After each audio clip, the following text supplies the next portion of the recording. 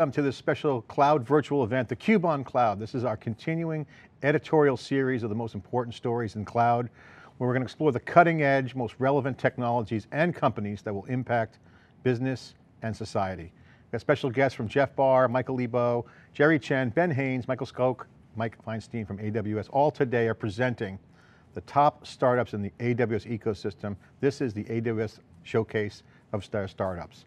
I'm joined with Dave Vellante, Dave, great to see you. Hey John, great to be here. Thanks for having me.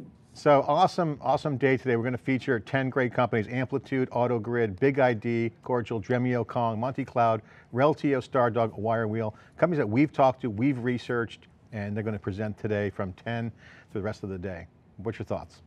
Well, you know, John, a lot of these companies were just sort of, you know, last decade, they really, really were in tire kicker mode, experimentation mode, and now they're well on their way to hitting escape velocity, which is very exciting. They're hitting, you know, tens of millions of dollars of ARR. Many are planning IPOs, and it's just, it's really great to see what the cloud has enabled, and we're going to dig into that you know, very deeply today, so I'm super excited. Before we jump into the keynote, I want to bring Jeremy Arnon from AWS up on stage. Uh, Jeremy is the brains behind this program that we're doing. We're going to do this quarterly. Jeremy, great to see you. You're in the Global Startups Program at AWS. Uh, your job is to keep the crops growing, keep the startups going, and keep the, the flow of innovation. Thanks for, for joining us. Yeah, made it to Startup Showcase Day. I'm super excited and, uh, as you mentioned, our, our my team, the Global Startup Program team, we kind of provide white glove service for VC-backed startups and help them with go-to-market activities, uh, co-selling with AWS, and and we've you know been looking for ways to highlight all the great work they're doing, and, and partnering with you guys has been has been tremendous. You guys really know how to bring their stories to life, so super excited about all the partner sessions today. Well, I really appreciate the vision and working with Amazon. This is like truly a bar raiser from the Cube virtual perspective. Using the virtual, we can get more content, more flow, and uh, great to have you on and bring the, the, top hot startups around data, data ops. Certainly the most important story in tech is, is cloud scale with data. You can't, you can't look around seeing more innovation happening. So I really appreciate the work. Thanks for coming on. Yeah, and don't forget, we're making this a quarterly series. So the next one, we've already been working on it. The next one is uh, Wednesday, June 16th. So mark your calendars. Uh, but super excited to uh, continue uh, doing these showcases with you guys in the future.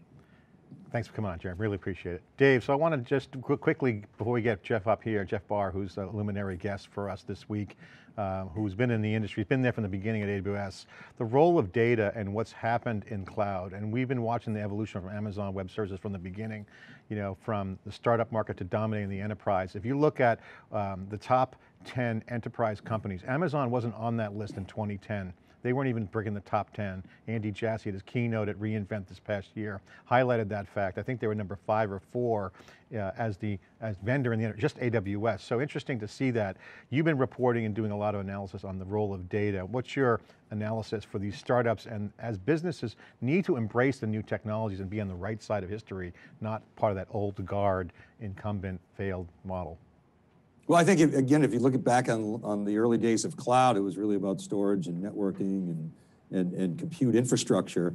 And, and then we collected all this data, and now you're seeing the next generation of innovation and value. We're going to talk to Michael Liebow about this. Is really, if you look at all the value points and the, and the, and the levers, it's all around data. And data is going through a massive change in the way that we think about it, that we talk about it and you, you, hear that a lot. Obviously, you talk about the volumes, the giant volumes, but, it, but there's something else going on as AWS brings the cloud to the edge. And of course, it looks at the data center as just another edge yeah. device. Data is getting highly decentralized. And it's what we're seeing is data getting into the hands of, of business owners and, and data product builders. I think we're going to see a new parlance emerge. And that's where you're seeing the competitive advantage. And if you look at all the real winners in, in, these days in the marketplace, especially in digital with, with COVID, it, it all comes back to the data. And we're going to talk about that a lot today. You know, one of the things that's coming up in all of our CUBE interviews, certainly we've seen, I mean, we've had a great observation space across all the ecosystems, but the clear thing that's coming out of COVID is speed, agility, scale, and data. If you don't have that data, you are going to be a non-player. And I think I heard some industry people talking about the future of how the stock market's going to work and that if you're not truly in market with an AI or machine learning data value play, you probably will be shorted on the stock market or delisted. I think people are looking at that as a table stakes competitive advantage um, item where if you don't have some sort of data competitive strategy, you're going to be either delisted or short, sold short. And that's, I don't think delisted, but the point is, it's table stakes, Dave.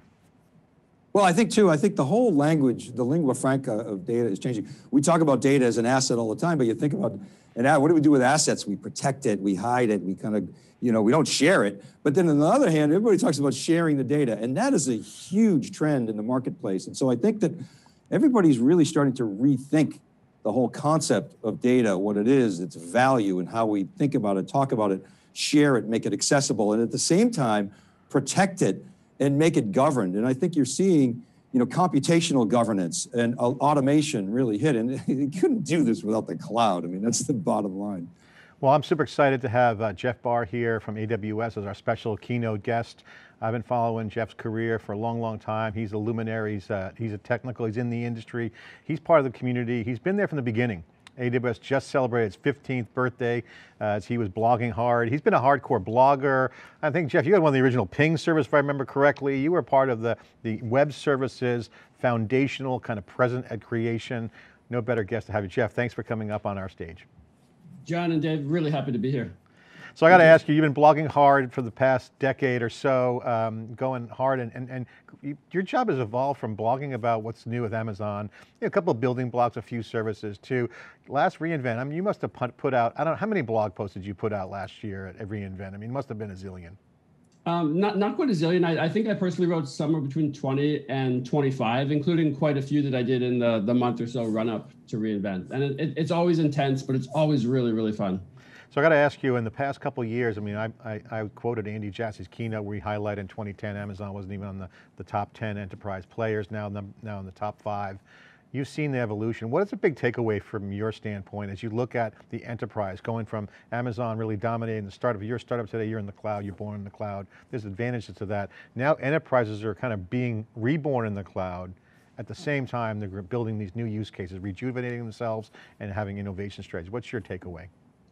So I love to work with our customers. And one of the things that I hear over and over again, and especially the last year or two, is really the value that they're they're placing on building a, a, workforce that has really strong cloud skills. They're, they're investing in education. They're focusing on this neat phrase that I learned in Australia called upskilling and saying, let's take our, our set of employees and improve their, their skill base, I hear companies really saying we're, we're going to go cloud first. We're going to be cloud native. We're going to really embrace and adopt the full set of cloud services and APIs. And I, I also see that they're, they're really looking at cloud as part of often a bigger picture. They, they often use the phrase digital transformation. In, in Amazon terms, we'd say they're, they're thinking big. They're really looking beyond where they are and who they are to what they could be and what they could grow into. Really putting a lot of energy and creativity into into thinking forward in that way. I wonder, Jeff, if you could you could talk about sort of how people are, are thinking about the future of cloud. If you look at where the spending action is, obviously you see it in cloud computing. We've seen that as the move to digital. You know, serverless, Lambda is, is, is huge. Uh, if, if you look at the data, it's, it's off the charts. Machine learning and AI uh, also up there, containers, uh, and, and of course automation. AWS you know, leads in all of those, and they portend a different sort of programming model, a different way of thinking about how to deploy workloads and applications, maybe different than the early days of cloud. Uh, what's driving, you know, that generally, and I'm interested in serverless specifically, um, and how do you see, you know, the next several years uh, uh, folding out?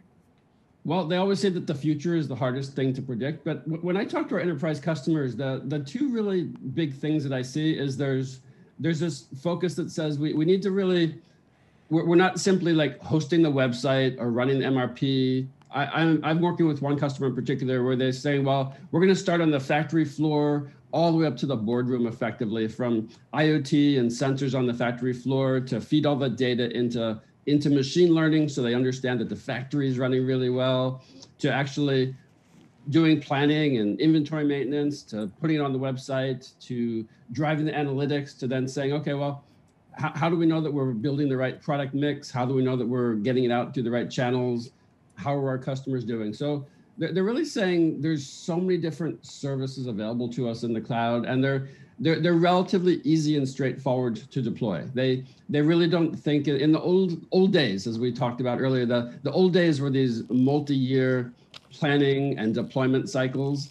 Now it's much more straightforward. It's like let, let's see what we can do today in this week in this month. And the, the from idea to some initial results is, is a much much shorter turnaround and so they, they can they can iterate a lot more quickly which is, is just always known to pr produce better results. Well, Jeff, in the spirit of the 15th birthday of AWS, a lot of services have been built from the original three, I believe it was, um, the core building blocks. And there's been a lot of history and it's kind of like, know, there was a key decoupling of compute from, from storage, those innovations. What's the most important architectural change, if any, has happened or built upon those building blocks with AWS that you could share with companies out there as many people are coming into the cloud, not just lifting and shifting and having that innovation, but really building cloud native and now hybrid, full cloud operations, day two operations, however you want to look at it, that's a big thing. What architecturally has changed that's been um, innovative from those original building blocks? Well, I, I think that the basic architecture has proven to be very, very resilient. When when I wrote about the, the 15 year birthday of Amazon S3 a couple weeks ago, one thing I thought was really incredible was the fact that the, the same APIs that you could have used 15 years ago, they all still work. The the put, the get, the list, the delete, the the permissions management, every last one of those were were chosen with with extreme care, and so they all still work. So one of the things you think about when you when you put APIs out there is we in Amazon terms we always talk about going through a one-way door. And a one-way door says once you do it you're committed for the indefinite future. You, and and so you you we're very happy to do that but we we take those steps with extreme care. And so th those basic building blocks. So the original S3 APIs the original EC2 APIs and the the model all those things really worked but now they're running at this just in, insane scale. Um, one thing that blows me away, I, I routinely hear my colleagues talking about petabytes and exabytes, and we, we throw around trillions and quadrillions like they're like like they're pennies. It's kind of amazing sometimes when you hear the the scale of requests per day or requests per month, and the the orders of magnitude are you you can't map them back to reality anymore. They're they're yeah. they're just simply like literally astronomical. If I can just jump in real quick, Dave, before you ask, I was watching the Jeff Bezos interview in 1999 that's been going around on, on LinkedIn. It's in a 60 Minutes interview. Uh, the, the, interviewer says, you know, you, you are reporting that you can store gigabyte of customer data from all their purchases. What are you going to do with that? And he basically nailed the answer. This is in 99. We're going to use that data to create. That was only a gig. Well, you know, one of the things that is interesting to me, guys, is if you look at, again, the early days of cloud, we of course always talked about that small companies, like, like ours, John, could have now access to, to information technology that only big companies could get access to. And now you've seen, and we're going to talk about it today, all these startups rise up and, and, and, and reach you know, viability. But at the same time, Jeff, you've seen big companies you know, get, get the aha moment on cloud. And, and you know, competition drives urgency, and that drives innovation. And so now you see everybody is doing cloud. It's a it's a mandate. And so you know the expectation is a lot more innovation, experimentation, and speed from all ends. It's really exciting to see. It, it I know this sounds hackneyed and overused, but it really, really still feels just like day one. We're at 15 plus years into this, I, I still wake every, up every morning like, wow, what, what is the cool new thing that I'm going to get to learn about and write about today?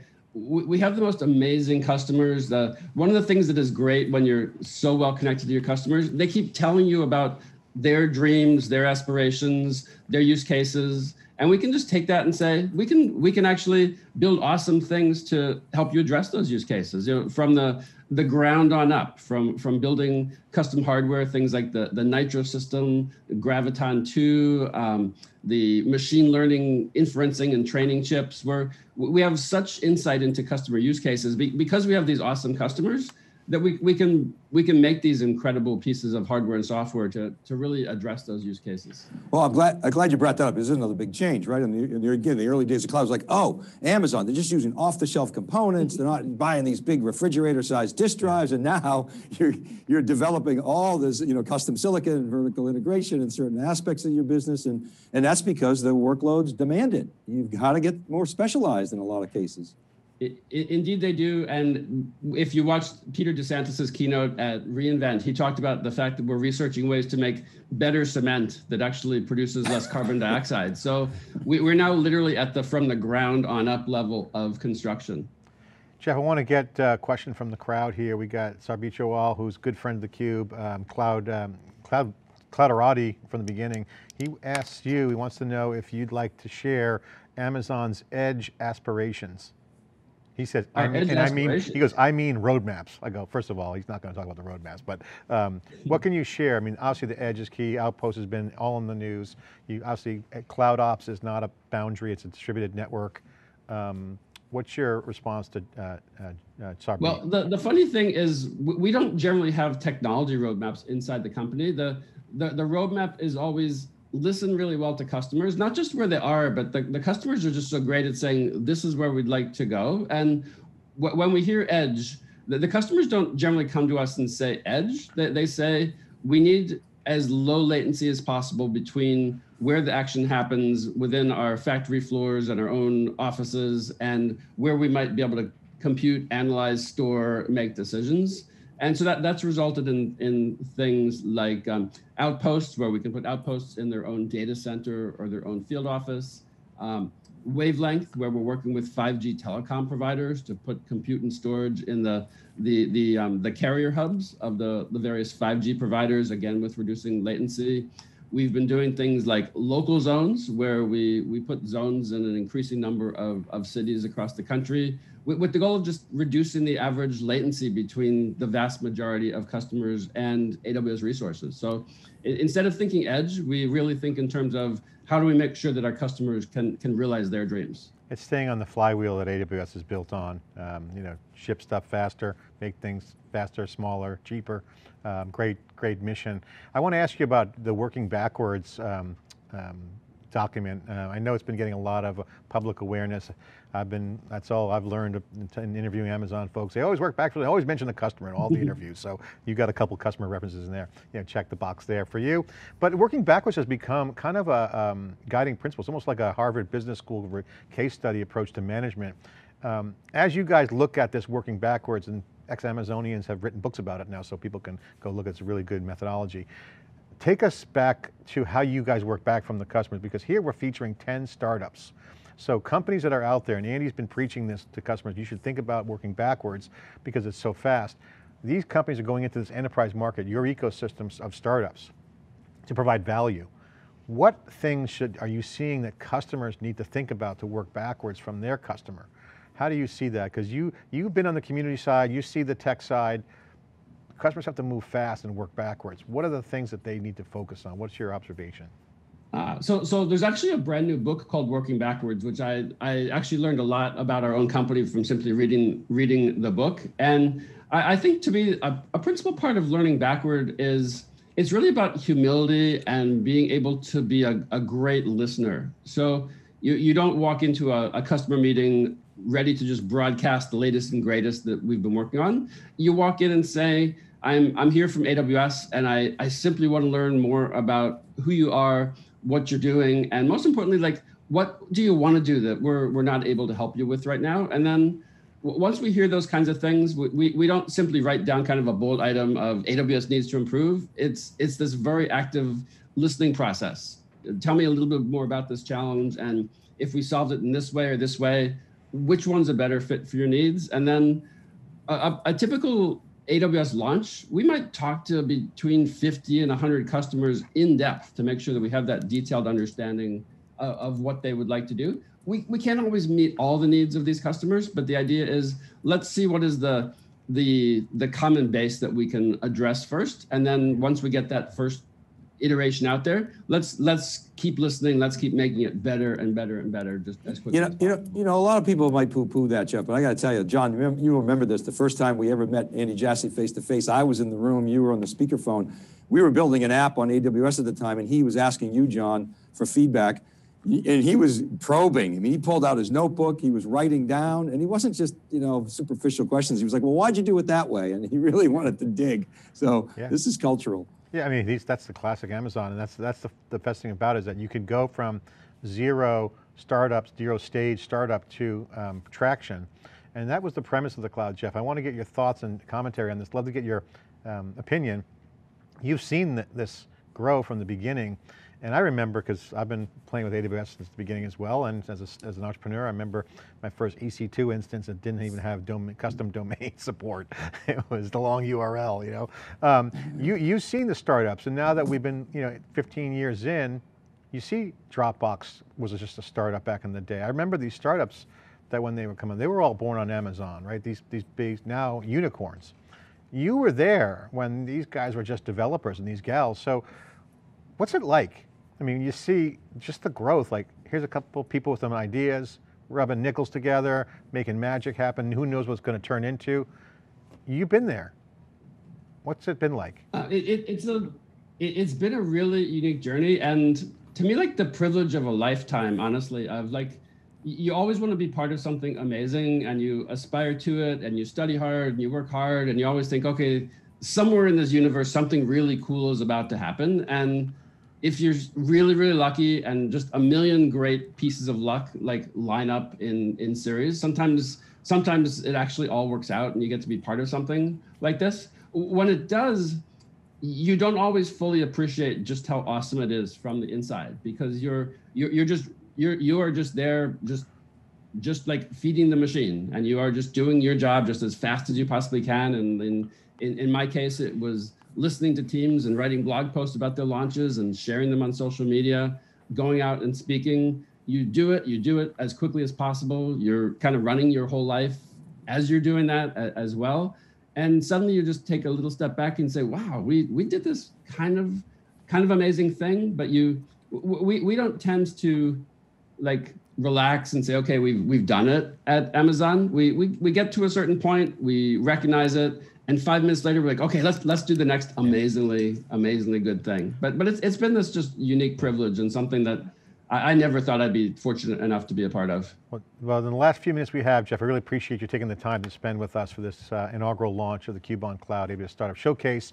Um, we are showcasing 10 startups here from your ecosystem, and a lot of people who know AWS, and for the folks that don't, you guys pride yourself on community and ecosystem. The Global Startups Program that Jeremy and his team are running, you guys nurture these startups. You want them to be successful. They're vectoring out into the marketplace with a growth strategy, helping customers. Um, what's your um, what's your take on this ecosystem as as customers are out there listening to this? What's your advice to them? How should they engage?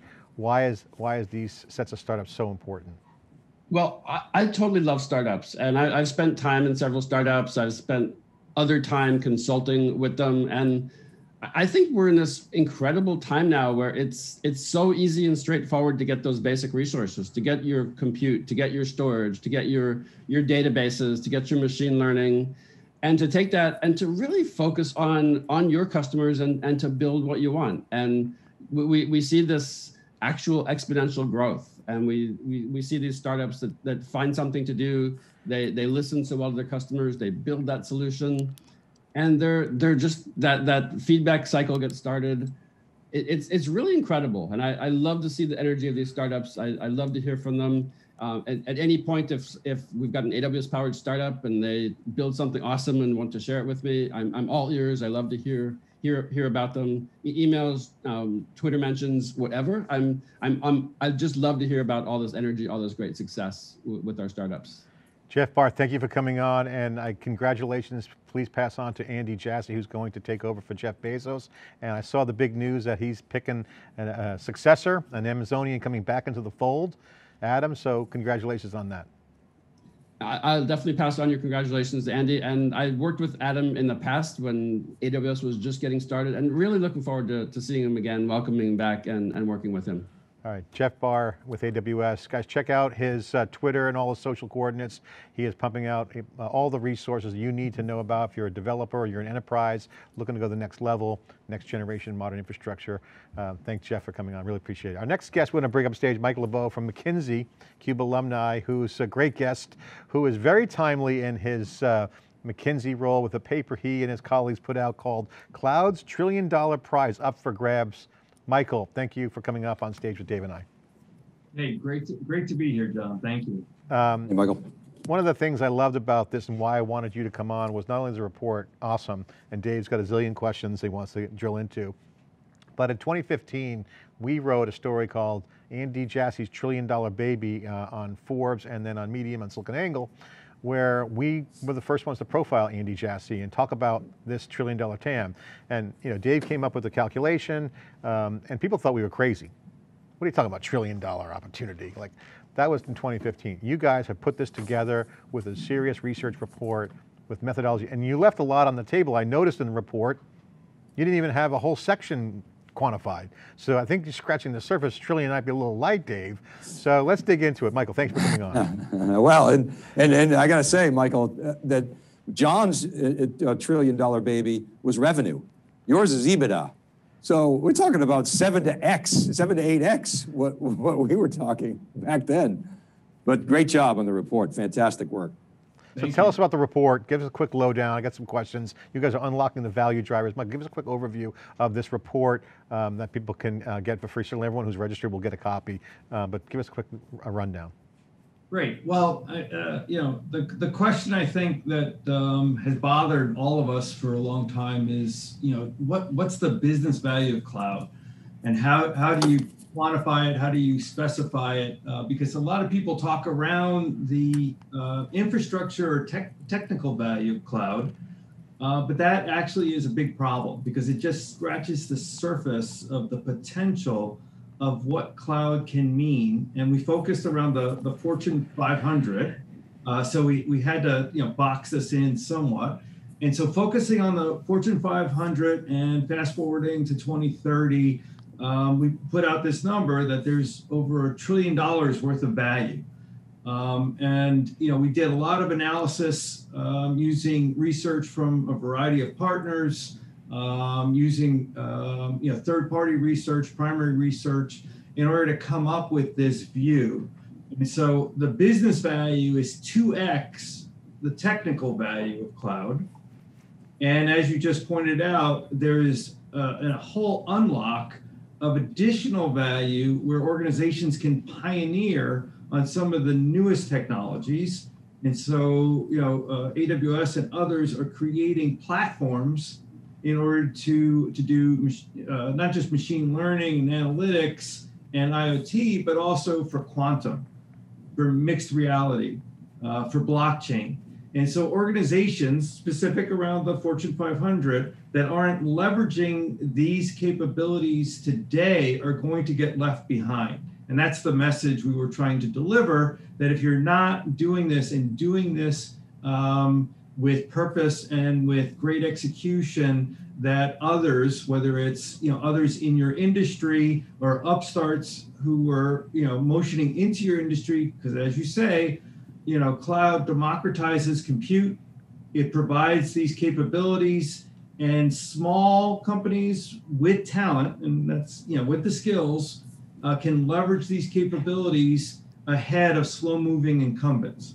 And I think that was the critical component. So that gives you the framework. We can Yeah. deep dive based on your questions. Well, before we get into the deep dive, I want to ask you, we have startups being showcased here as part of the AWS Showcase.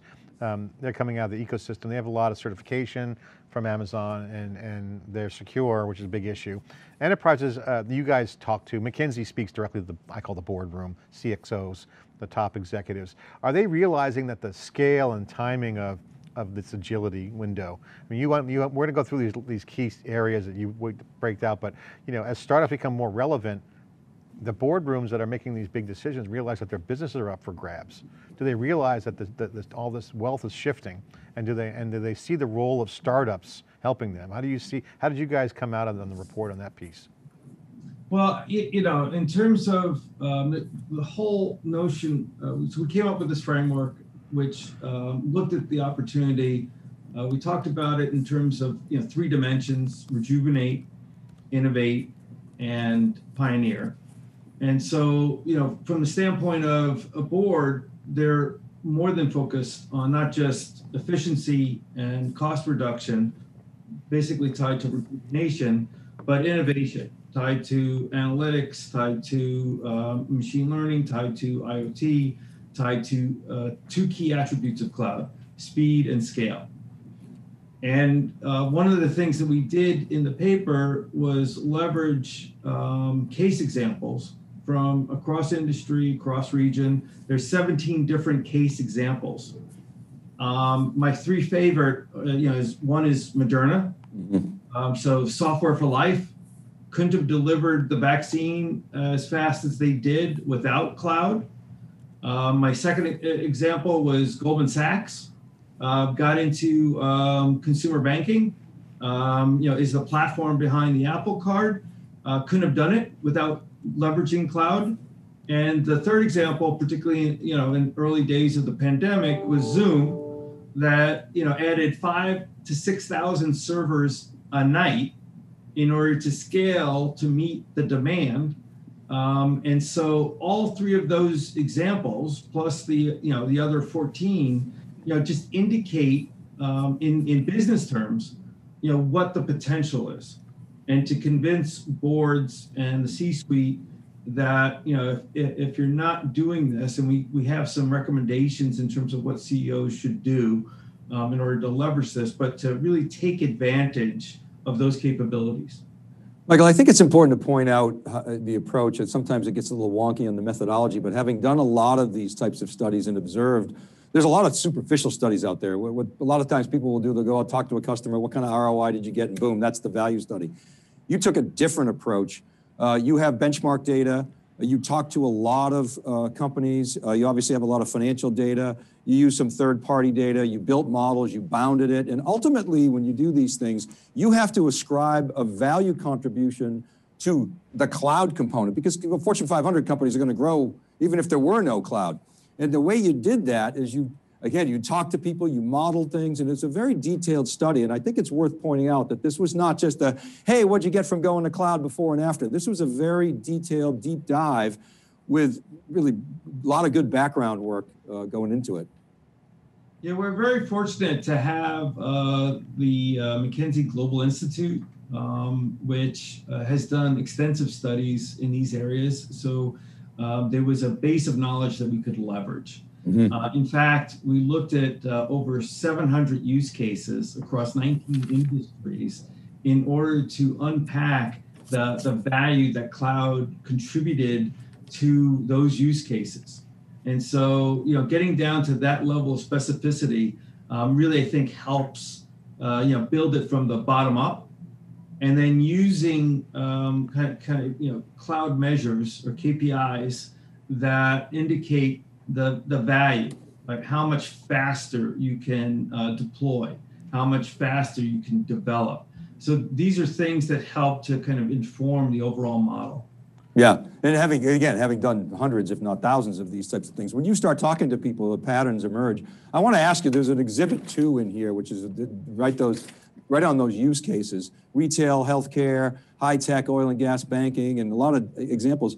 And I went through them all, and, and virtually every single one of them, from a value contribution standpoint, the unlocking value, came down to data, large data sets, uh, document analysis, converting sentiment analysis, analytics. I mean, it really does come down to the data. And I wonder if you could comment on that and why is it that cloud has enabled that?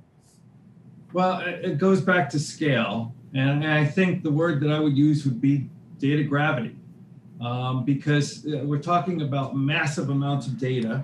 And so as you go through those, you know, kind of three uh, dimensions in terms of rejuvenation, you know, one of the things you can do, you know, as you optimize and clarify um, and, and build, you know, better resiliency, the thing that comes into play, I think, is to have clean data um, and data that's available in multiple places that you can create an underlying platform in order to leverage, you know, the um, the services, the capabilities around, you know, building out that that structure.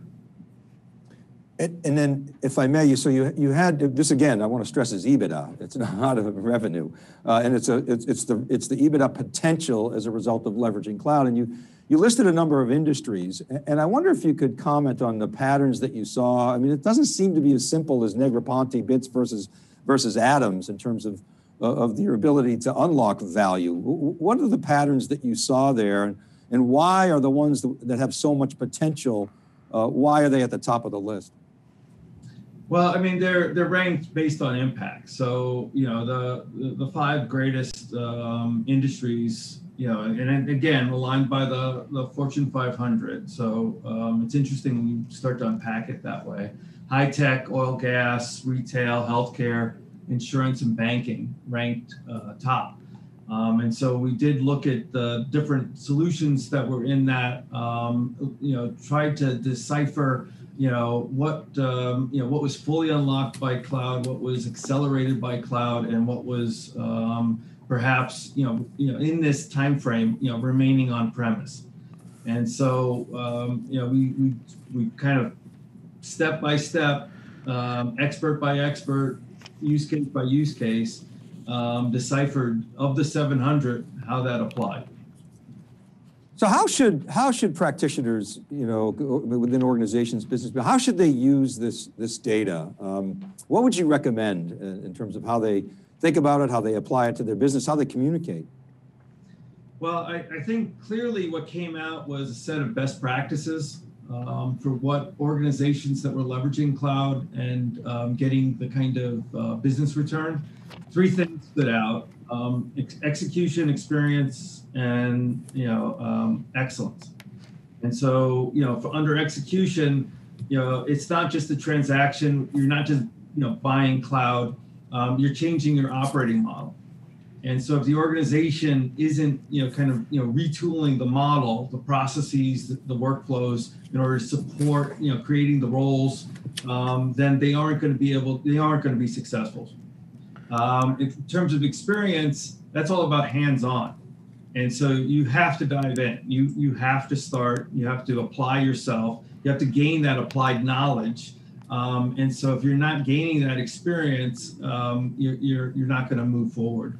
And then in terms of excellence, um, and it was mentioned earlier uh, by Jeff, um, reskilling, upskilling um, if you're not committed to your workforce and you know pushing certification pushing training in order to really um, you know evolve your workforce or your ways of working um, you're not going to leverage um, cloud so those three best practices really came up on top in terms of what a mature cloud adopter looks like that's awesome. Michael, thank you for coming on. Really appreciate it. The last question I have for you as we wrap up this trillion dollar segment, pun intended, is the cloud mindset. You mentioned um, partnering and skilling up. The role of the enterprise and, and business is to partner with the technologists, not just the technologies, but the companies. Talk about this cloud uh, native mindset because it's not just lift and shift and run apps and, and have an IT optimization issue. It's about innovating next gen solutions. And you're seeing it in public sector, you're seeing it in the commercial sector, all areas where the relationship with partners and companies and startups in particular. This is the startup showcase. These are startups are more relevant than ever as the tide is shifting to a new generation of, of companies. Yeah, so there a lot of you know think about an engine. A, a lot of things have to work um, in order to produce the kind of results that we're talking about to grab your more than fair share or unfair share of the trillion dollars. And so you know CEOs need to lead this um, in bold fashion. Uh, number one, you know they need to you know craft the moonshot or the Mars shot. They have to you know set that goal, that aspiration, and it has to be um, you know, a stretch goal for the organization because cloud is the only way to enable that achievement of that, you know, that aspiration. That's number one. Number two, they really need a hard-headed economic case um, it, it has to be defined in terms of you know what the expectation is going to be. Um, so it's not loose. It's very, very well and defined. And, and in some respects, time boxed. Yep. You know, what can we do here? Awesome. The third thing I would say is the cloud native. Your organization has to move, you know, in an agile fashion, uh, trained in DevOps. And the, the fourth thing, this is where the startups come in, is the cloud platform. There has to be an underlying platform that supports those aspirations. It's an art. It's not just an architecture. Um, it's a living, breathing live service. Um, you know, with integrations, um, with standardization, with self-service that enables you know this whole program. Awesome. Michael, thank you for coming on and sharing the McKinsey perspective, the report, the cloud's trillion dollar prize is up for grabs. Uh, everyone who's registered for this event will get a copy. We appreciate it. It's also on the website. We'll make sure everyone gets a copy. Thanks for coming on. Appreciate it. Thank you. Thanks, Michael. Okay, Dave, big uh, big discussion there. Trillion dollar baby, that's the cloud, that's Jassy. Now he's going to be the CEO of AWS. They have a new CEO they announced. Um, so that's going to be good for Amazon. It's kind of got clarity on the succession to Jassy, trusted soldier. The ecosystem is a is a is big for Amazon. Unlike Microsoft, they have the different view, right? They have they have some apps, but they're cultivating as many startups and enterprises as possible in the cloud and no better reason to change gears here and get a, a, venture capitalist in here and a friend of theCUBE, Jerry Chen. Let's bring him up on stage. Jerry Chen, uh, great to see you. Partner at Greylock, making all the big investments. Good to see you. John, hey, Dave, it's great to be here with you guys. Happy, uh, happy March. Good to see you hey, guys. Hey, Jerry, good to see you, man. So Jerry, our first inaugural AWS Startup Showcase, we'll be doing these quarterly and we're going to be featuring the best of the best. Um, you're investing in all the hot startups. We've been tracking your careers from the beginning. You're a good friend of theCUBE. Always got great commentary. Why are startups more important than ever before? Because you know, in the old days, we've talked about in theCUBE before, startups had to go through certain certifications and you know, you got tire kicking, you got to go through IT. It's like going through security at the airport, take your shoes off, put your belt on the thing. I mean, all kinds of things. Now, different. The world has changed. What's your I, take? I think I think startups have always been a great way for experimentation, right? It's either new new technologies, new business models, new markets. You know, they can move faster, they experiment, and a lot of startups don't work, unfortunately, while a lot of them turn to be multi-billion dollar companies. I think startups are more important because as we come out of COVID and the economy is recovering, it's a great way for um, individuals, engineers, for companies, for different markets to try different things out. And I, I think think of startups running multiple experiments at the same time, you know, across the globe, trying to figure out how to do things better, faster, cheaper. And you know, McKinsey points out this use case of rejuvenate, which is essentially retool pivot, essentially, um, get your cost down. Or, and the next innovation area with this TAM, this trillion dollars of unlock value, and where the bulk of it is, is the innovation, the new use cases and existing use cases. This is where the enterprises really have an opportunity. Could you share your thoughts as you invest in the startups to attack these new uh, waves, these new areas, where it may not look the same as before? What's your, what's your assessment of this kind of innovation, these new use cases? You know, I think um, you know we talked last time about kind of changes of COVID the past year, and there's been acceleration of things like you know how we work, education, medicine, all these things are going online. So I think that's very clear. The first wave of innovation is like, hey, things we didn't think we could be possible, like working remotely, you know, e-commerce everywhere, telemedicine, teleeducation, that's happening. I think the second order effect now is okay, as enterprises realize that this is the new reality. Everything's digital, everything's in the cloud, and everything's going to be more kind of um, electronic relation with their customers. I think they're rethinking what does it mean to be a business? What does it mean to be a bank? What does it mean to be a, a car company or an energy company? What does it mean to be um, a retailer, right? So I think they're rethinking that brands are now global, brands are all online, and they can now have relationships with the customers directly. So I think if you're a business now, you have to re experiment or rethink about your business model. If you thought you were Nike selling shoes to the retailers, like half of Nike's revenue is now digital, right? All online. So instead of selling sneakers through stores, they're now a direct to consumer brand. And so I think every business is going to rethink about what they are. Airbnbs, like, are they in the travel business or the experience business, right? Airlines, what business are they in? Yeah, the Cube, we're, we're direct to consumer virtual, totally and open up our business model. Dave, Dave, the cloud premise is, is interesting now. I mean, let's reset this where we are, right?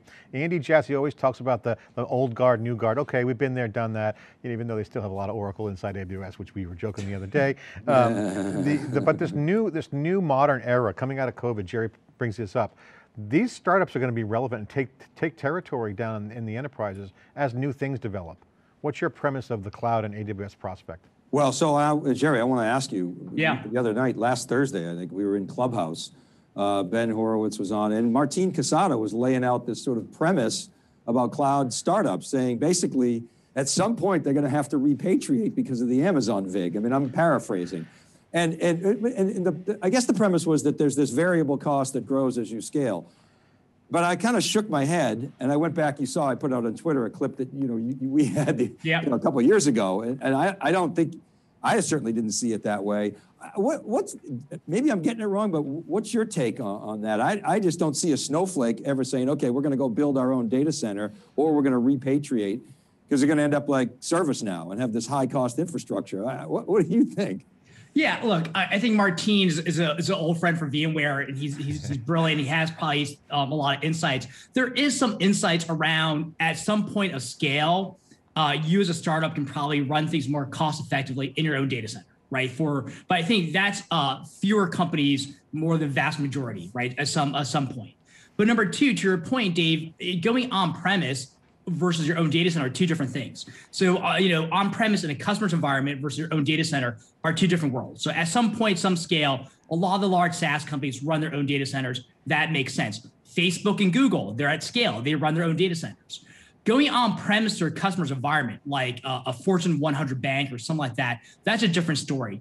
There are reasons to do that around compliance or data gravity, Dave, but um, Amazon's cost, I don't think is a, a, legitimate reason. Like if, if price is an issue, that can be solved much faster than architectural decisions or tech stacks, right? Once you're on the cloud, you know, I think the thesis, of the conversation we had like a year ago was um, the way you build apps are very different in the cloud than the way you build apps on premise, right? You have assume um, storage, networking, and compute elasticity that's independent of each other you don't really get that in a, in a customer's data center or their own environment, even with all the new technologies. So you can't really go from cloud back to on-premise because the way you build your apps look very, very different. So I would say for sure at some scale, run your own data center. You know, that's why the hyperscale guys do that. Um, on-premise for customers, data gravity, compliance, and governance, great reasons to go on-premise. But for vast majority of startups and vast majority of customers, the network effects you get for being on the cloud, the network network effects you get from having everything in this elastic cloud service, I think outweighs any any of the costs. I could agree more, and that's where the data is. And I, the way I look at it is, your technology spend is going to be some percentage of your revenue, and it's going to be generally flat over time, and you're going to have to manage it whether it's in the cloud or it's or it's on prem, John. Uh, we had a quote on the cube um, on a conversation I had, Jerry. We'll get your reaction to this. Uh, the executive um, said if you don't have an AI strategy built into your value proposition, you will be shorted as a stock on Wall Street. Um, and I even went further and said you'll probably be delisted because you won't be performing. With a tongue-in-cheek comment, but the reality is, is that that's indicating that everyone has to have AI in their thing, mainly as a reality. How, what's your take on that? I know you got a lot of investments in this area. As AI becomes beyond fashion and becomes table stakes, where are we on that spectrum and how does that impact business and society as you know, that becomes a key part of the stack and, and application stack. Yeah, I, I, think, John, you've seen AI machine learning turn out to be some kind of novelty thing that a bunch of CS professors working on, you know, years ago to a fundamental piece of every application. So I, I would say, you know, the statement, the sentiment is directionally correct that 20 years ago, if you didn't have a web strategy or a, a, website as a company, your company be shorted, right? If you didn't have kind of a, a, internet website, you weren't real company. Likewise, if you don't use AI now to power your applications or machine learning in some form or fashion, for sure gonna be at a competitive disadvantage to everyone else. And just like you know, if you're not using software intelligently or the cloud intelligently, your stock as a company is gonna gonna underperform the rest of the market. And you know, the cloud guys on the startups that we're, we're backing are making AI so accessible and so easy for developers today that it's really easy to use some level of machine learning in any application. If you're not doing that, it's like not having a website in 1999. Yeah, so let's get into that whole uh, operations side. So eh, what would you be your advice to the enterprises that are watching and people who are making decisions on architecture and, and how they roll out their business model or value proposition? How should they look at um, AI and, and operations? I mean, you know, big, big theme is day two operations, you got IT service management, all these things are being disrupted.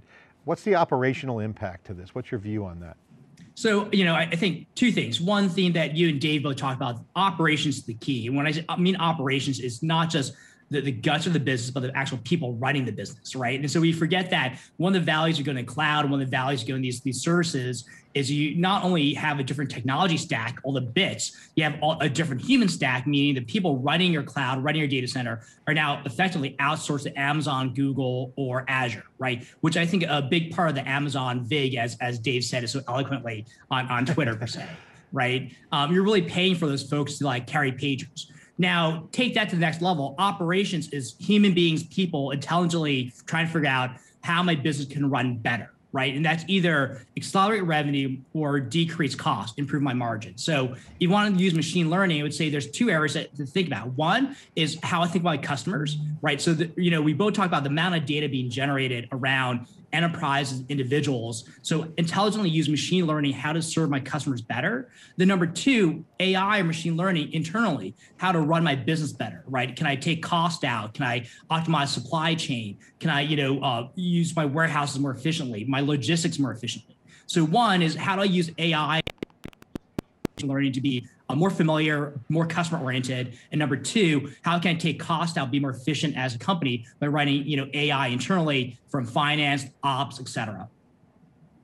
So Jerry, I wonder if I could ask you a little different subject, but but question on you know tactical valuations. You uh, how coupled or decoupled are private company valuations from the public markets? You're seeing the public markets, everybody's freaking out because interest rates are going to go up, so the future value of cash flows are lower. Does that trickle in quickly into the private markets, or is it a whole different dynamic?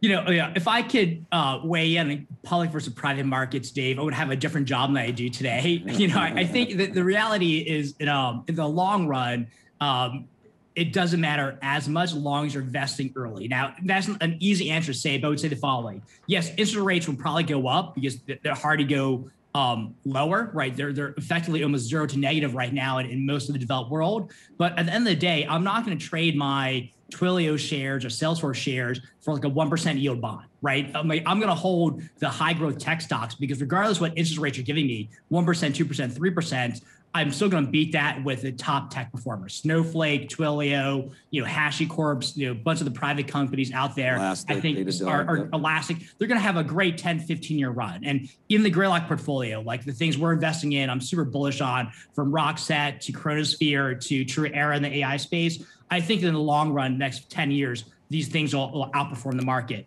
That said, right, um, uh, valuation and prices have gone up and down. They will in our careers. They have in, in the careers we've been covering tech. So I do believe that they're high now. They'll come down for sure. Um, will they go back up again? Definitely, right? But as Wait, uh, long as you're, you're betting these macro waves, I think we'll all be good. Great answer as usual. I, I- would you would you trade them for NFTs, Jerry? you know, uh, that that $69 million Beeple piece of artwork. Uh, look, I mean, uh, I'm a long-term believer in kind of IP and property rights in the blockchain, right? And I'm waiting for the cube to mint this video as an NFT. So when we do this, guys, we'll mint this video as an NFT and see how much people pay for the original Dave, John, Jerry Chen interview. hey, you know what? We can probably get some good bang for that. Hey, you know, it's all it's all about this next generation. Jerry, great to have you on. Final question as we got this one minute left. Um, what's your advice to the people out there that, that are engaging with these innovative startups? Uh, we're going to feature startups every quarter from in the Amazon ecosystem. Um, they are going to be adding value. What's the advice to the enterprises that are engaging startups? Um, the approach, posture. What's your advice? Yeah, you know, when I talk to CIOs and large enterprises, they, they often are wary, like, hey, when to engage a startup, how, what business is, and is it risky or low risk? And I say, just like any career managing, just like any um, um, investment you're making in a, in a big company, small company, you should have a budget or set of projects. And then, you know, I want to say to a CIO, hey, every priority on your, your wish list, go use a startup right? I mean, that would be 10 for 10 projects, 10 startups. Probably too much risk for a lot of start um, tech companies. But we say to most CIOs and um, executives, look, there are strategic initiatives in your business that you want to accelerate. And I would take the time to invest in one or two startups each quarter selectively, right? Use the time, focus on fewer startups, go deep with them because they can actually be game changers in terms of inflecting your business. And what I mean by that is like don't pick too many startups because you know you can't devote the time but don't pick zero startups because you're going to be left behind right? You'll be shorted as a stock by by the john dave and jerry hedge fund apparently. But pick a handful of startups in your strategic areas your top two or three things these really these could be um, accelerators for your for your business. You know, I have to ask you real quick while you're here, I've got a couple minutes left, on, on startups that are building apps. Um, obviously DevOps and the infrastructure as code movement has gone full mainstream. That's really what we're living right now, that kind of first generation commercialization of, of DevOps, now DevSecOps.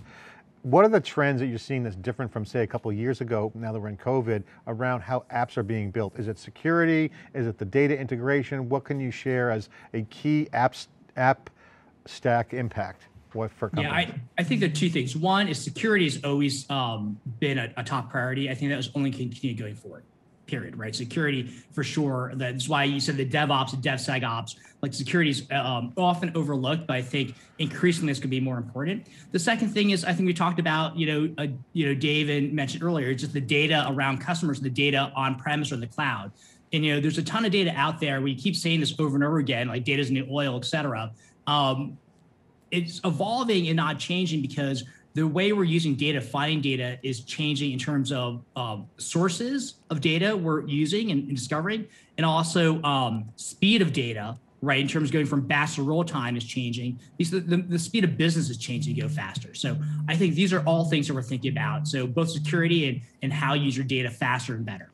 Jerry, you were in the cube a number of years ago, and I remember either John or I asked you about, you think Amazon's going to go up the stack and start developing applications? And your answer was, you know what, I think, I think no. I think they're going to enable a new new set of disruptors to come in and disrupt the SaaS uh, world. And I think that's largely playing out. And one of the interesting things about Adam Selipsky's uh, appointment to the CEO, he comes from Tableau. He, he really helped Tableau go from that sort of old guard model to an ARR model. Obviously, executed a, a great exit uh, to Salesforce. And now I, I see companies like Salesforce and ServiceNow and, and Workday as potential for your scenario to really play out. They've got, uh, in my view anyway, outdated pricing models. You look at what, how Snowflake's pricing on a consumption basis, same with Datadog, same with Stripe, and, and new startups seem to really be uh, uh, leaning into the consumption-based pricing model. So how, how do you, what, what, are your thoughts on that? Maybe thoughts on Adam and thoughts on, thoughts on SaaS disruption? Um, yeah, I think my the- thesis still holds that I don't think so, uh, Selipsky Adam is going to go into the app space aggressively. I think you know Amazon wants to enable next generation apps, and right. we've seen some of their new services they're doing is they're kind of um, deconstructing apps, right? They're deconstructing the, the parts of CRM and or, uh, or e-commerce, and they're offering them as services. So I think you're going to see Amazon continue to say, "Hey, we're the core parts of an app, like um, uh, payments or um, customer prediction or, or, or or some machine learning things around applications you want to by bake in, they're going to turn those things to the API and sell those as services, right? So you look at things like you know Stripe, Twilio, which are two of the biggest companies out there. They're not apps themselves; they're they're components of an app, right? Either e-commerce or messaging communications. So I can see Amazon going down that path. I think you know Adam's a, a great choice, right? He was a long-term early AWS AWS exec from the early days, left, and to your point, Dave, really helped take uh, Tableau into kind of a, a cloud business acquired by Salesforce, worked there for a few years under you know Benioff, you know the guy who created you know quote unquote cloud, and now it's him coming home again. Yeah. Um, back to Amazon. So. I think it'll be exciting to see how yeah. Adam runs the business and, next few years. And John, I think he's the perfect choice because he's got operations chops and he knows how to. Dis- he can help the startups disrupt. Yeah, and the, he's been he's been he's been a trusted soldier of Jassy from the beginning. He knows the DNA. He's got some CEO outside experience. I think that was the key. Uh, he knows and Andy's not going to give up Amazon's baby. This is his baby, right? So he's he's got him in charge, and she's a trusted lieutenant. You think? You oh, think he's yeah. not? Yeah, you think he's going to keep? He's going to hold the mic? Yeah, yeah. We got to go. Jerry Chen, thank you very much for coming on. Really appreciate it. Um, great to see you. Thanks for coming on our inaugural Cube on Cloud AWS startup event. Now for the 10 startups, enjoy the sessions at 12:30 Pacific. We're going to have the closing keynote. I'm John Furrier for Dave Vellante and our special guests. Thanks for watching and enjoy the rest of the day and the 10 startups.